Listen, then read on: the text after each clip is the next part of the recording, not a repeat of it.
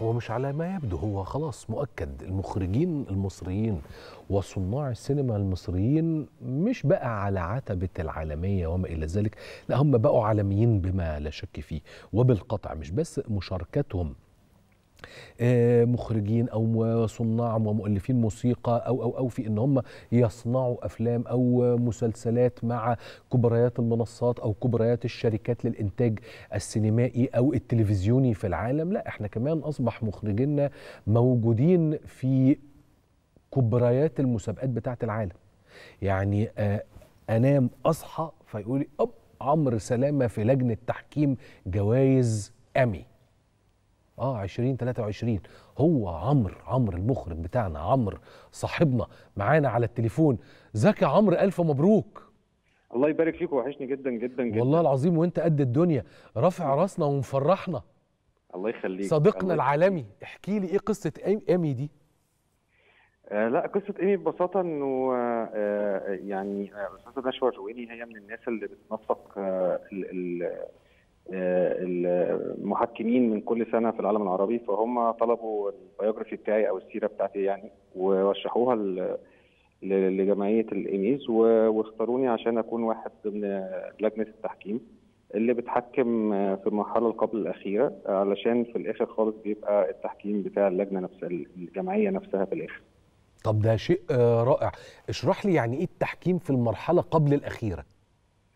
يعني عشان يبقى في الآخر في مثلا خمس مرشحين في الآخر فبيبقى في آه، زي short list كده آه، أو القائمة القصيرة.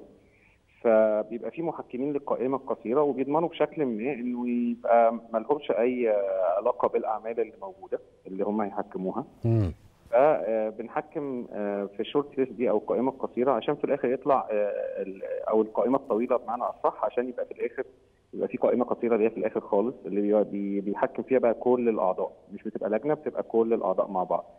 زي ما أنا كده محكم في الأوسكار برضو ففي الأوسكار إحنا في الآخر خالص. بينا قلنا في الآخر خمس آه، أفلام مثلا. فإحنا بن بن بنعمل voting كلنا كأعضاء الأكاديمية في ال Arts and Science اللي هي الأوسكار. فكل سنة بحكم في الأوسكار بقالي هو يمكن ثلاث أربع سنين. آه. فكواحد من المصوتين يعني. طب صحيح وانت بتحكم في الأوسكار هتعمل إيه مع فوي فوي فوي؟ آه يعني أنا ما أقدرش أقول على الهوا هعمل إيه لأن آه، هيتكتب يعني هل- لا لا ما أنا مش هقول مش ه- مش بسألك هتعمل إيه أنا بقصد على مسألة إنه في ناس تيجي تقول لك إيه طب ويا ترى يا ترى هل عمرو هيغلب هواه المصري عندما يتحدث أو يحكم أو ينظر أو يرى أو يقيم فوي فوي فوي؟ ولا عمرو سلامة يحكم بس وملوش دعوة ولا عمرو سلامة ساعتها هي هيحايد ويقف بعيدا عن تقييم هذا الفيلم بص أقول لك حاجة واحدة تحيا مصر مش هعرف أقول أكتر من كده علشان يعني يعني يعني طبعا مهني وكل حاجة بس يعني تحيا مصر.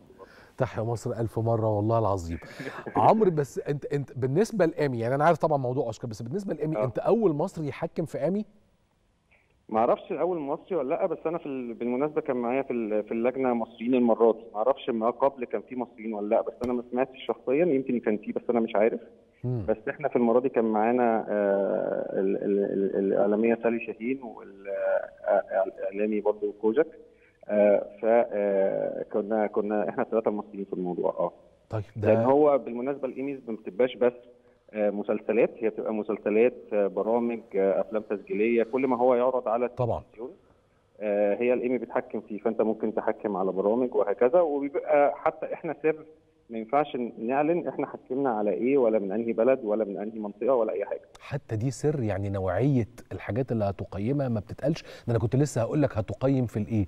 في الوثائقي ولا في المسلسل ولا في لا؟ ممنوع نقول كده. في في الشروط اللي بن- بنمضي عليها يعني إن إحنا ممنوع نقول خالص إحنا بنحكم في أنهي category أو أنهي territory يعني في أنهي قسم أو في أنهي منطقة لأن هو بيتأكد بشكل ما إن هو يبقى عنده آه، آه، تأكد إن أنت مش مالكش دعوة بالمنطقة دي أو بالقسم ده وفي نفس الوقت آه، بتبقى أنت بتمضي زي على تعهد كده إنه آه، إن أنت مالكش أي علاقة بالأعمال اللي أنت بتحكمها و- آه، وهكذا. و- وده إن شاء الله يعني إحنا حصل قبل كده إن كان في آه، منا شركة رشحت للإيميز في- آه، طبعاً. في- مسلسل كل أسبوع يوم جمعة. صحيح. وأنا أعتقد آه، خد بالك يعني إحنا مثلا لما عملنا مسلسل مع نتفليكس كان أول إنتاج مصري لنتفليكس. كانت نتفليكس هي اللي مهتمة جدا في إنها توصل ال- ال- ال- الحلقات عشان تترشح الإيمي نفس الكلام في المسلسل الثاني لما منى شلبي خدت الترشيح كانت شاهد. فأتمنى إحنا كمان في أعمالنا يبقى عند المنتجين والمنصات المصرية ودي حاجة تبقى مهمة جدا جدا إن هم موجود على نتفليكس دي. ببارانورمال. اللي هو آه وموقع الطبيعة. فدي حاجة مهمة جدا إن إن, دي حاجة يعني خطوة مش مهتم فيها قوي الصناع المصريين إن هم أو المنصات القنوات أو القنوات المصرية إن هي تحاول تسعى في ده. مع إن إحنا عندنا أعمال أنا متأكد مليار في المية. إن فيها مستوى من الإخراج والتصوير والتنفيذ وغيره تستحق جدا إنها تنافس عالميا. يعني حتى في رمضان اللي فات ده منتجاتنا المصرية أعمالنا المصرية المسلسلات كان في كذا مسلسل أنا شايف إن هو في مستوى حاجات عالمية. لكن إحنا دايما بنقصر شوية في حتة إن إحنا نحاول نوصل شغلنا للعالم مع إن ده ممكن يكون فتحة مهمة جدا للسياحه وال... وال... وال... والتسويق أعمالك عالميا يعني في. كاملة عايشة على ده بس إن هو يدبلج ويبعت للعالم فأعماله توصل فسياحته تكبر.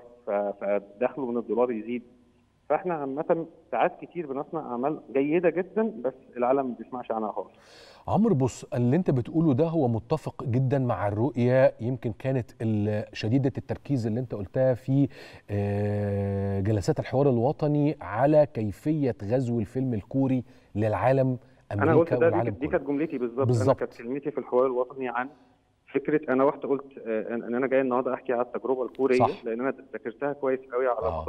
ال 20 سنة اللي فاتت وتواصلت معاهم بكذا طريقة ودرست ال ال النموذج الكوري لأن كوريا هقول حاجة على الهواء كويس إن أنت مديني المنصة دي.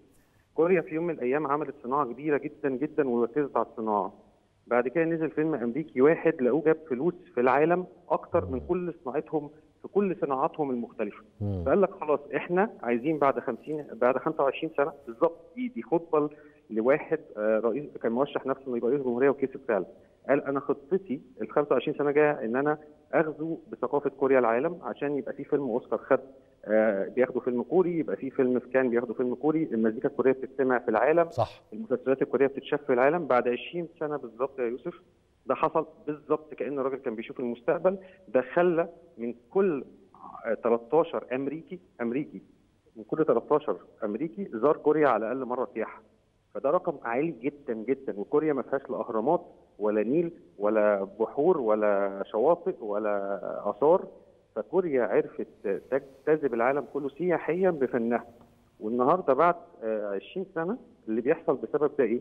مفيش شارع في الكوكب ما فيهوش ركنة عربية كوري مفيش بيت في الكوكب ما فيهوش جهاز كوري فكوريا غزت العالم بصناعتها لما عرفت تغزو العالم بثقافتها النهارده أكتر نوع موسيقى بيتسمع في. في أمريكا وأوروبا كوري الكي بوب اللي هي المزيكا الكوري اللي هي بيتكلموا بالكوري اللي هو ما أيوه حدش بيتكلم كوري في العالم غير كوريا. صح. لكن إحنا عندنا لغة مثلا بيتكلمها مليار إنسان. فإحنا لو لو دي بقت خطة مهتم بيها وعوق- والعراقيل بتاعتها راح مش يعني اتلغت وحصل ليها دعم أنا بقول لك في يوم من الأيام الناس هتبقى جاية مصر عشان تاكل في الكشري الفلاني أو عايزة تجيب منتج مصري عشان عشان هما بيشوفوا الأفلام المصري. ف...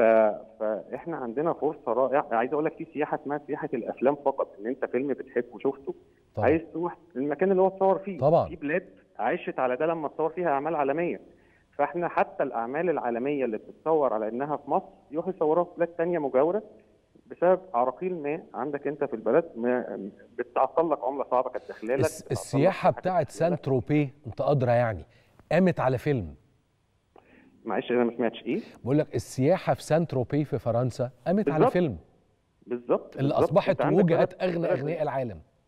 بالظبط. كرواتيا نفسها زادت السياحة عندها 230% بعد بس ما تصور فيها Game of Thrones يعني السياحة لو كان بيجي 5 مليون سائح بقى بيجي 12 مليون سائح بسبب مسلسل واحد اتصور في كرواتيا. فأنت عندك هنا في مصر آه، آه، أنت مناخ شبه طارد للأعمال العالمية إنها تتصور عندك عراقيل كتير جدا. يمكن أنا كنت حاضر الجلسة بتاعه الحوار اللي أنت اتكلمت فيها إحنا اتقابلنا ساعتها حتى هناك أنا وأنت ودياب وبيتر ميمي وحاجات زي كده وأنت. قعدت عرضت وجهة نظر وأنا من ساعتها الموضوع عمال بقلبه في في دماغي وبما إني غاوي أكل فبدأت أركز مع الأكل الكوري أكتر كمان. ف...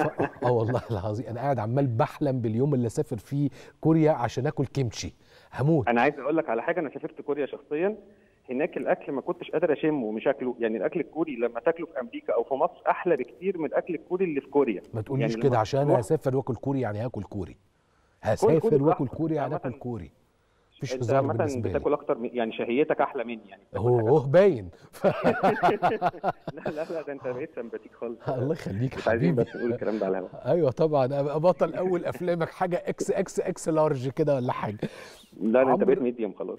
أشكرك ربنا يا سلام شجعني أكتر. والله أنا بدأت رجيم عمرو بحاول. عمرو أنا عايز أستأذنك في إنه زي ما قلت لي كده في نص المكالمة قلت لي أشكرك إنك أنت فاتح لي منصة للحديث حول هذا الموضوع وهالمتعلق بإزاي الثقافة الكورية انتشرت في العالم مع الصناعة الكورية إلى آخره. شوف وقتك تنورنا هنا وناخد الموضوع بقى بشكل أكثر اتساعا وناخد راحتنا أكتر في الكلام على ده. أتمنى يوسف ودعم صناعة السينما في مصر ونفكر فيها لأن ده فعلا هيبقى مصدر رزق كبير جدا لمصر. يا ريت يا ريت. أشكرك يا عمرو والف مبروك كما جرت العادة. الحقيقة من قلبي يعني أنت عارف أنا أحبك قد إيه وأحب شغلك قد إيه. و و و و ومبروك على إنك دائما ما تمثلنا بشكل عالمي ومشرف. الحقيقة أنت وكل الزملاء والأصدقاء والمنتجين والمبدعين والمخرجين وصناع السينما المصريين كل الشكر للمخرج شديد التميز. الحقيقة عمرو سلامه